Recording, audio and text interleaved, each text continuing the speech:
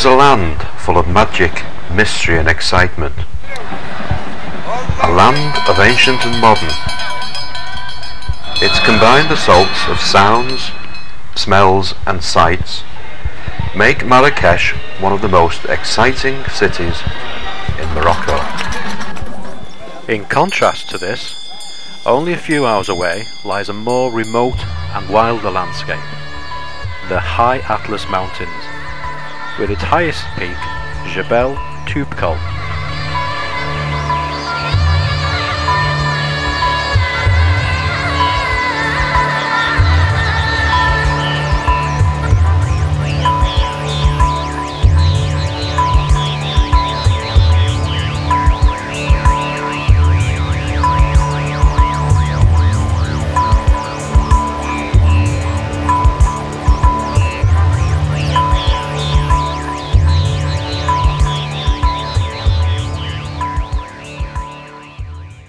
After a two hour minibus ride from Marrakesh, we arrive at the small ski resort of Oukaïmeden, right in the heart of the High Atlas range.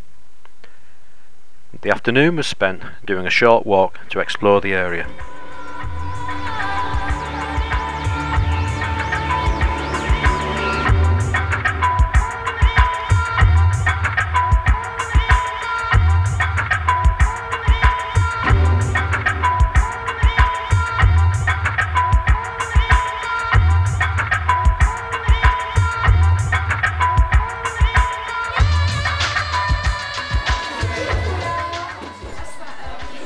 Our second day into the trek, breakfast was a rather noisy affair as we shared the dining room with a group of French school children. However, we fueled up with our porridge to climb the nearby peak of Jebel Oukaïmeden.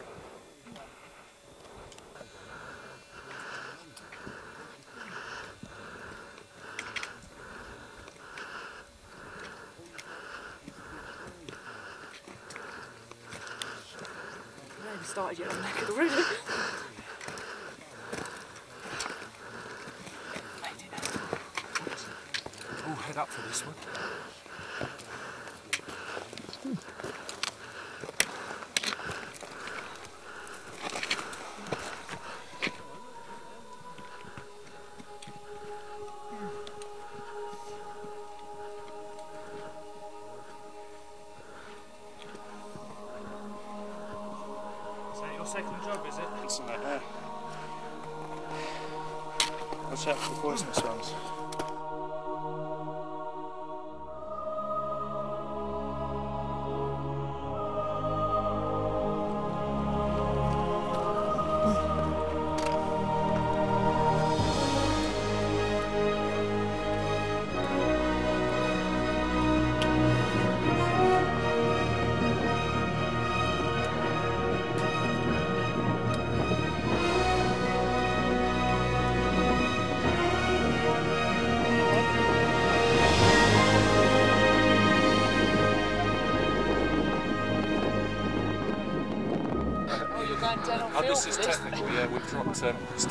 Stock still, we've now dropped 32 metres since we've been standing here.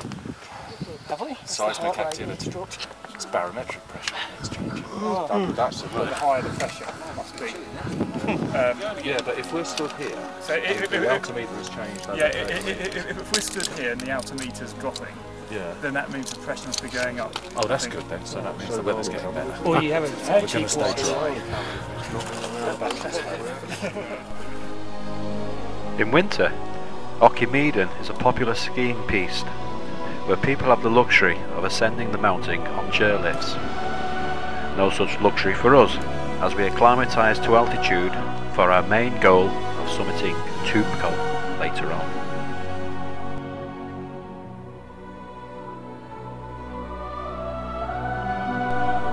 The summit of Oukaïmeden offers excellent views of the Atlas Range, including our ultimate goal, Mount Tube Toubkal.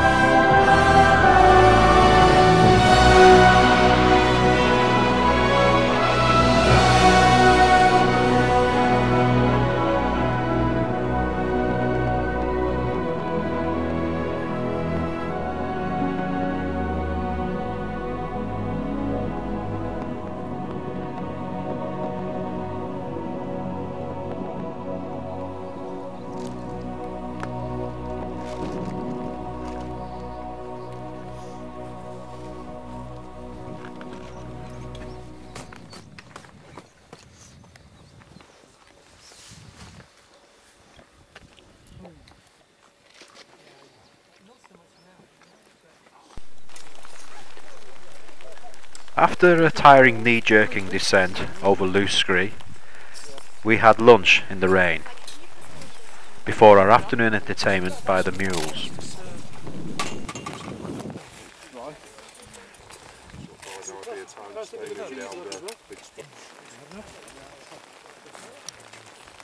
He's coming up.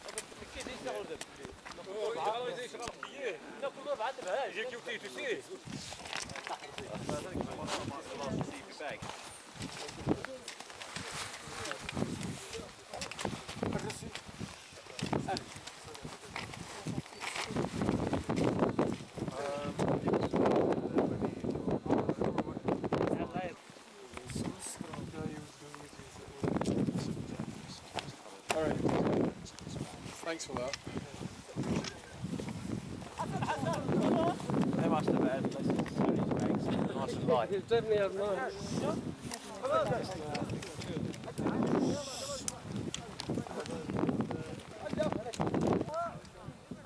It's calmed down. I think it's giving it now. You've got fed up with that game now. It's sort of.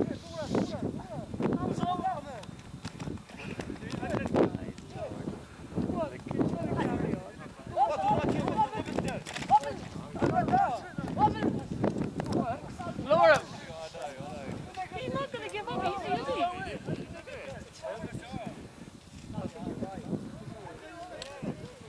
All helping though, aren't they?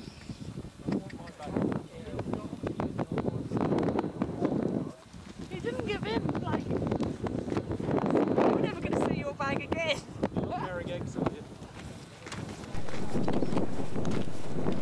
Our descent starts with some road walking, eventually leading to scrambling, crossing the pass of Tizi Quade. Hello! Hello. Hi! What kept you? Would be. Oh, it's reassuring to hear these guys bereaving him. yes. Yeah, don't feel so bad.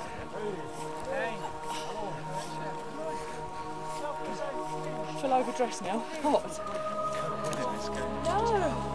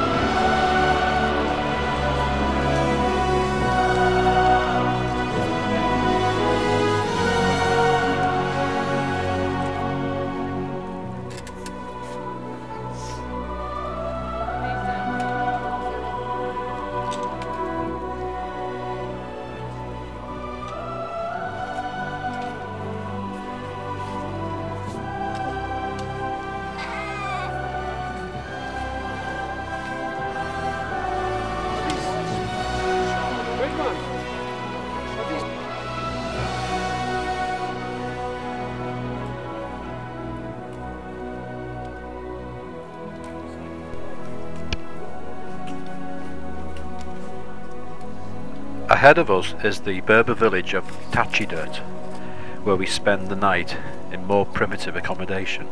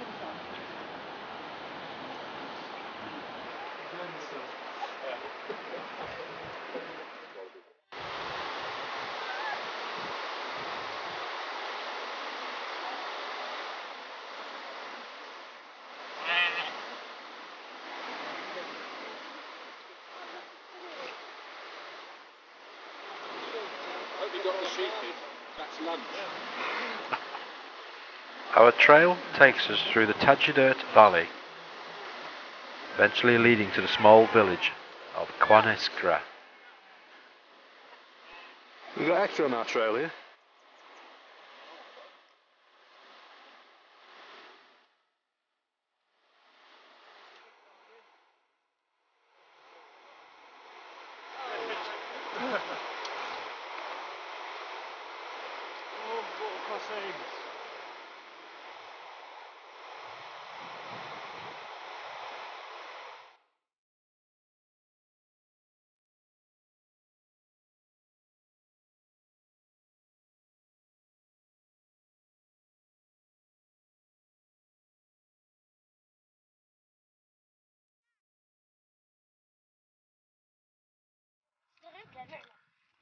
손가락 주세요.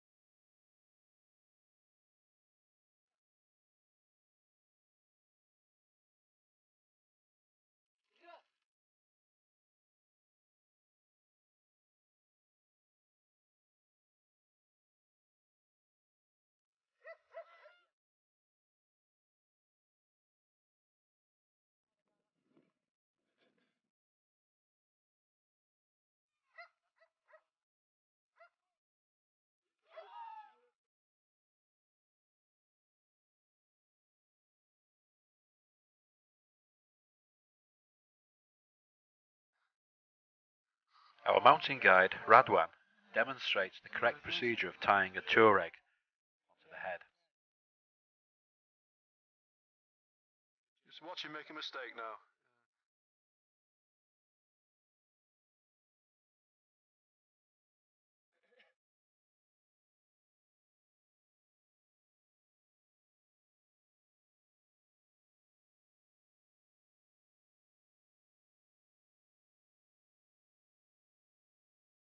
Need one of you to examine it, make sure that's a tight knot.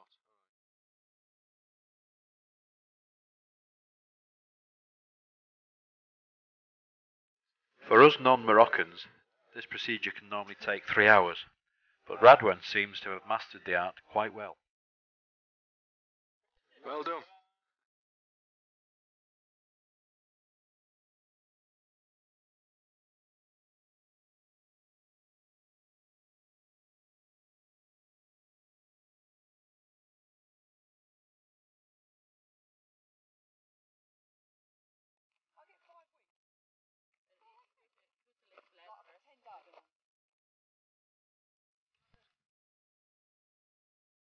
The green and fertile village of Unescra.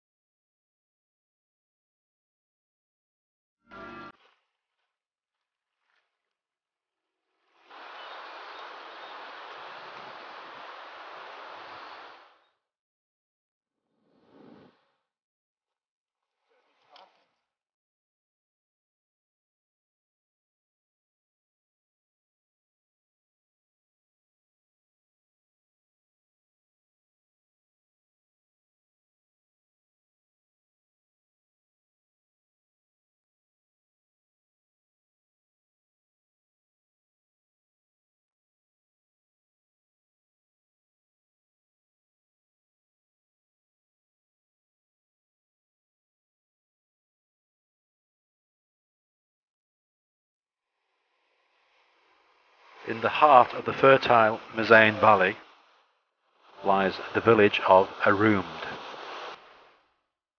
where we stay for one night. Pop Rockerson, it's a beautiful morning. Couldn't wish for better weather.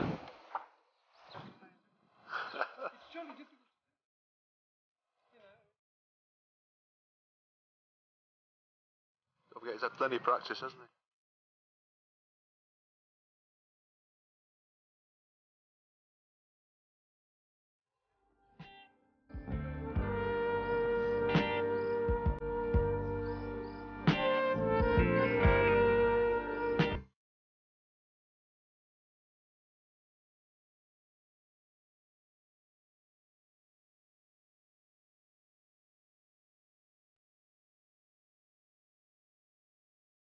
Preparing for another hot, sunny day, we leave the green fields and walnut trees of Aroomed and follow the Mezain Valley, crossing a dry riverbed to steeply ascend to the small shrine of Sidi Shamaru.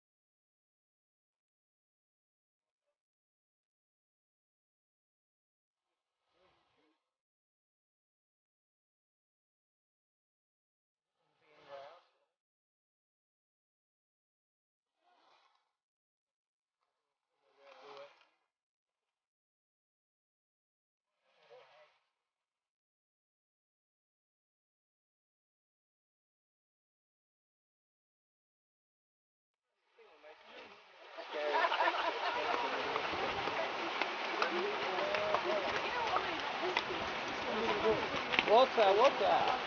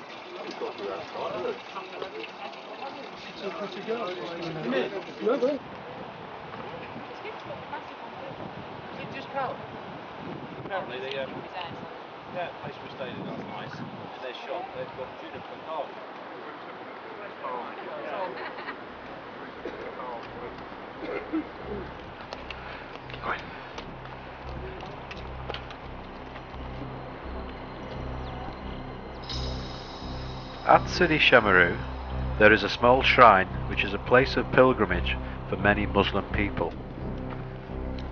The Neltner path climbs steeply from the shrine, crossing several springs. We carry on for a further two hours until we stop for lunch.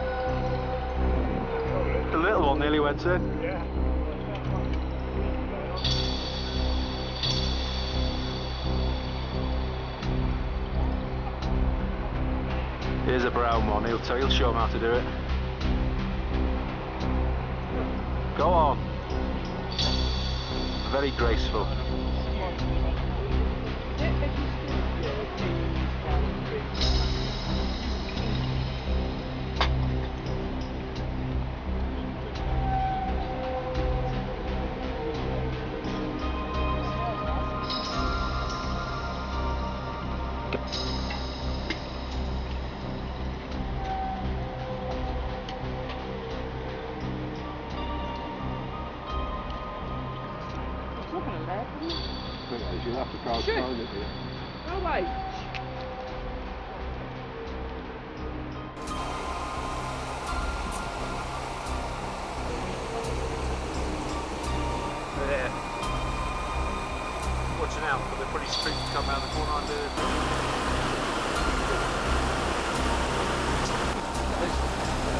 This is the man that does all the wonderful food.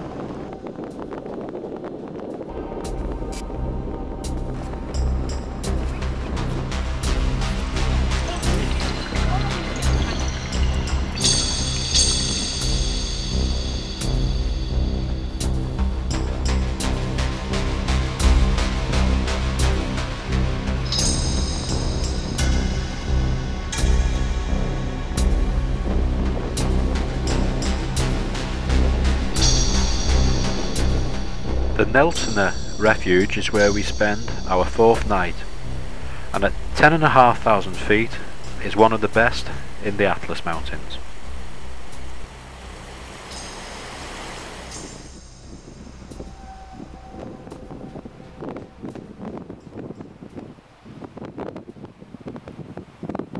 Team, It's early morning preparation to ascend Toubkal. It is What time is it, Imelda? About 5.28. It's about 5:20 a.m. Uh, sun is just rising, and we're all keen and eager to go. Crampons and ice axe, John. Have you got? Yeah,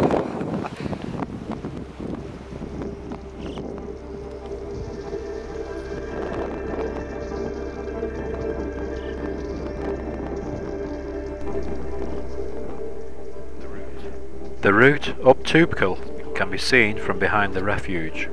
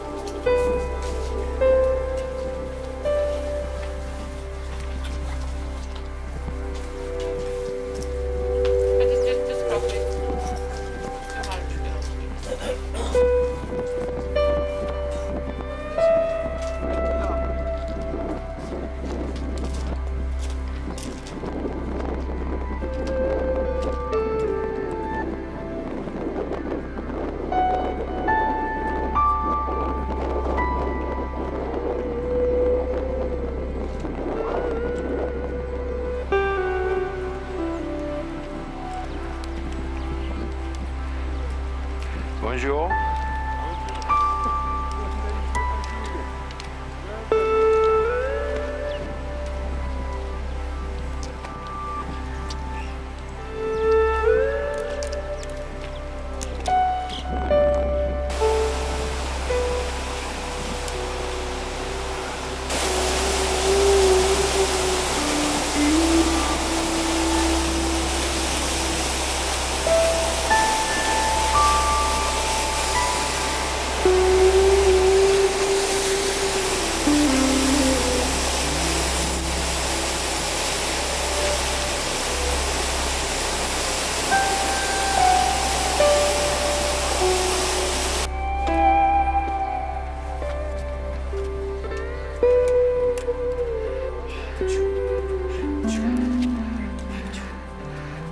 put some effort into it.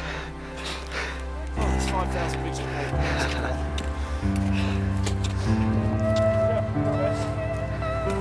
Yeah, just wouldn't mind the crevasse around the corner. Morning. Top of the morning to you as well.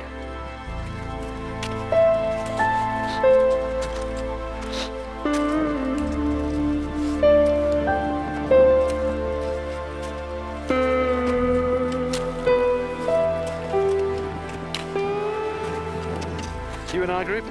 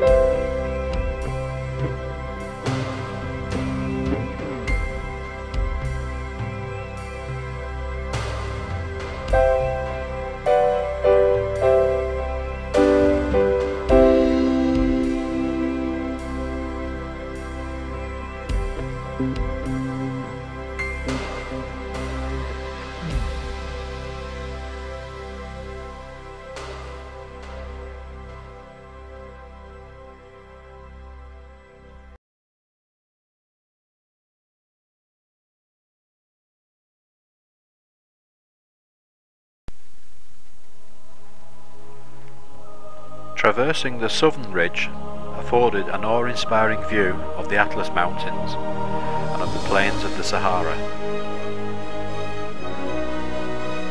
And in the distance we can see the summit.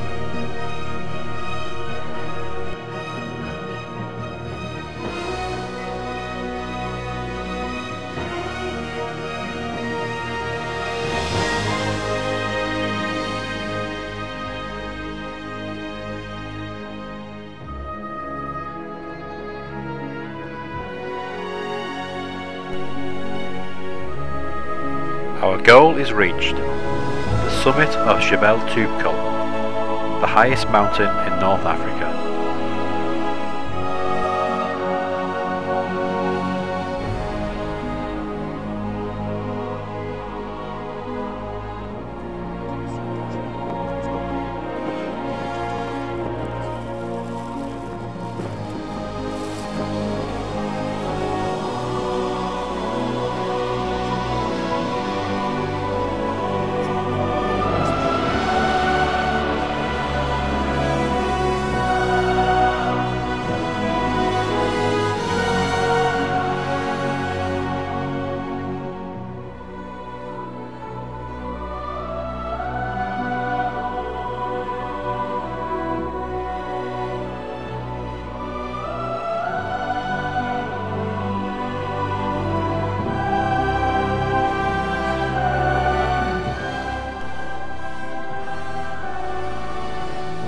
Descent was the same direction we ascended, with plenty of opportunity for some scree running, which tends to be the most effective method of dealing with loose scree. I think we all managed to pick up one or two bruises during the descent.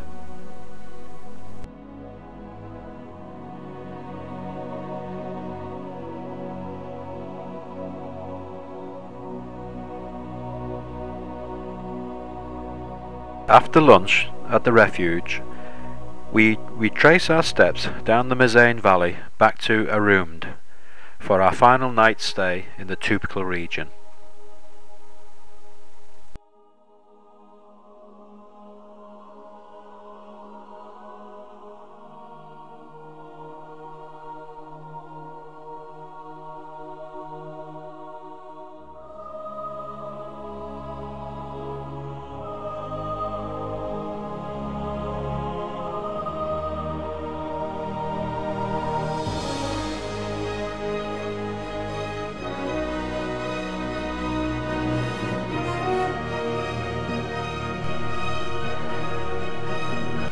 Day 6 of our trek, we have a short walk to Imlil, where we manage to get sandblasted from the high winds travelling through the valley.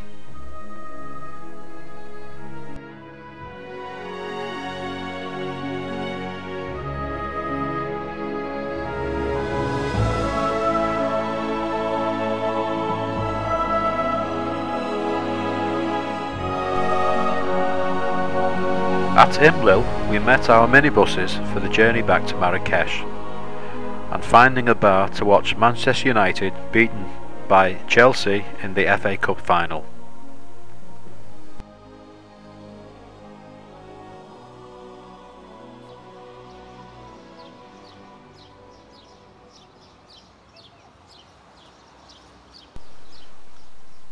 At 220 feet, the Koutoubia Mosque is the most visible landmark in the city. Marrakesh is an important centre for arts and crafts, which is why the city's sprawling souks are among the most fascinating in North Africa, and probably the easiest way to get lost.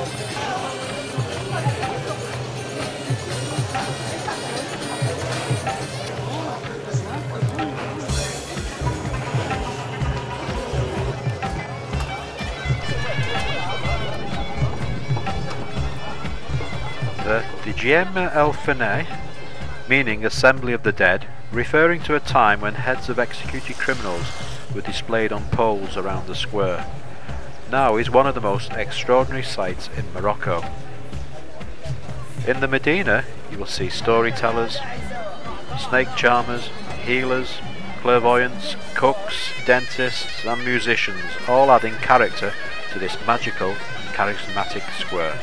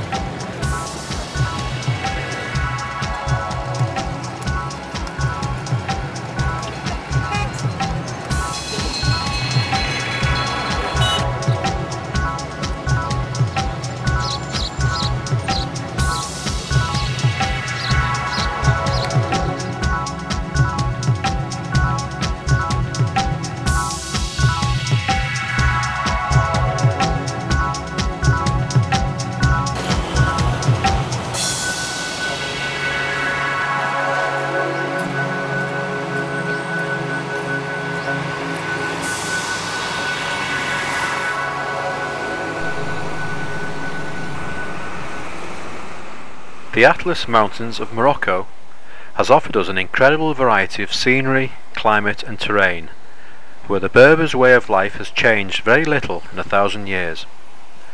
As a group of 16 Exodus trekkers, we have explored rocky wild mountains, crossed rivers, trekked along mountain passes to reach green, lush, fertile valleys, and of course summited North Africa's highest mountain at 13,500 feet. The experience of the trek and the camaraderie shown by fellow trekkers all added to the enjoyment and excitement of our trek in the Moroccan Atlas.